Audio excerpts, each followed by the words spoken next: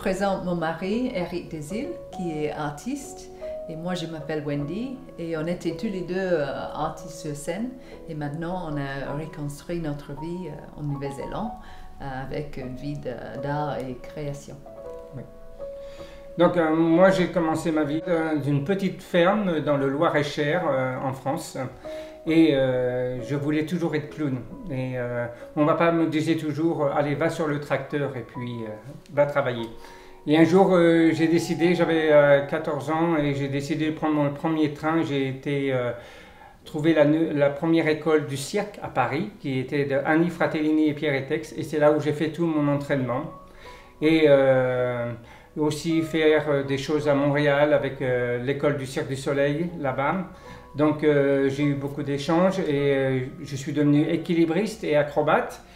Et euh, j'ai rencontré en chemin euh, mademoiselle à ce moment, qui était euh, danseuse classique. Et nous avons décidé de faire équipe et de faire un projet tout ensemble.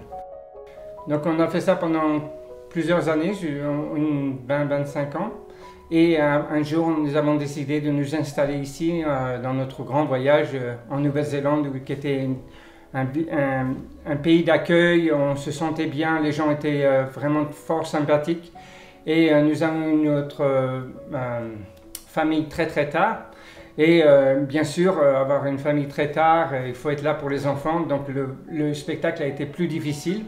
Donc c'est là que j'ai commencé à travailler avec l'idée de avoir euh, euh, ce qu'on faisait sur scène, mais le captiver et le faire en bronze. Donc euh, c'est là où j'ai commencé à créer mes bronzes, travailler sur le bronze tout seul. Voilà. Alors Eric, il essaie de prendre les émotions et le mouvement surtout des acrobates et des danseurs, parce qu'il sent et a la, la sensation de l'acrobate.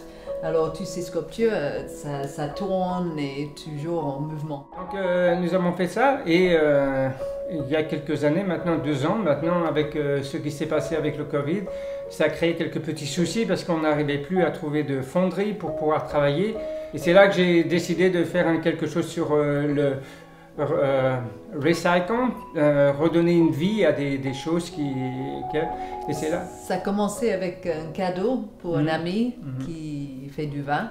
Alors on a pris les tonneaux de bois, il a pris des morceaux et après pour la le premier cadeau, il utilisait les, les tiers bouteilles et tout ça, voilà, les bouchons. Mais ici, c'est un petit chef. Voilà.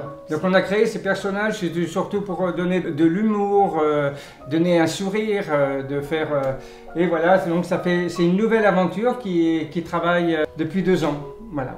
Alors on a décidé que la vie il y a trop de gaspillage, il faut faire attention des choses et peut-être on peut utiliser les choses et créer quelque chose un peu différent. Voilà.